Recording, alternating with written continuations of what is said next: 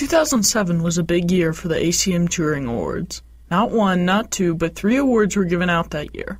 Edmund Melson Clarke, Ernest Allen Emerson, and Joseph Sifakis each received the Association for Computing Machinery's AM Turing Award for their work in model checking.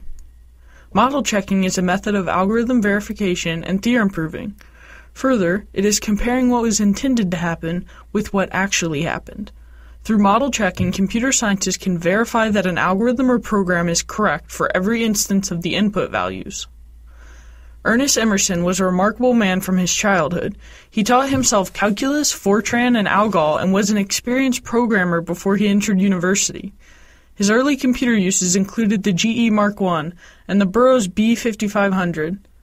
Emerson and Clarke, the U.S. duo of the 2007 Turing Awards, both went to public universities for undergraduate degrees. Emerson at the University of Texas, and Clarke at the University of Virginia. Edmund Clarke continued his education journey at Duke University, Cornell, and Harvard until settling in as faculty at Carnegie Mellon University. Emerson crossed paths with his future co-award winner at Harvard University in 1980 while he was receiving his own PhD before returning to be on the faculty at University of Texas. At a relatively similar time in Europe, Joseph Sifakis was also completing his undergraduate degree and doctorate from the National Technical University of Athens and the University of Grenoble. In 1981 and 1982, as Emerson, Clarke, and Sifakis were finishing their degrees, the field of model checking began to gain traction. Sifakis began working on verifications of state transition systems, which were ways of modeling which inputs were acceptable for the system in question. Sifakis was taking an important step towards model checking. Meanwhile, in the United States, Clarke and his student Emerson were coming to the same conclusion.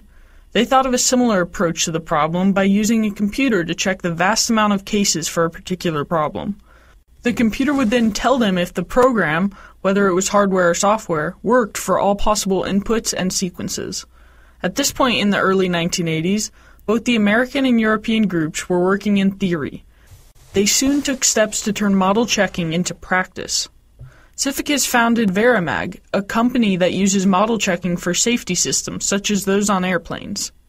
Clarke fine-tuned the large number of calculations needed for model checking and went on to test the IEEE standards for connecting computer components together. Emerson worked on ways to make the model checking algorithm more efficient. He combined redundant subtrees in the algorithm to convert larger systems into smaller systems. While at many points in time the three individuals were disconnected in their research, they all came to results that led to model checking. Since their creation is used by Intel, Microsoft, Airbus, and many more, it's no wonder they received the Turing Award together in 2007.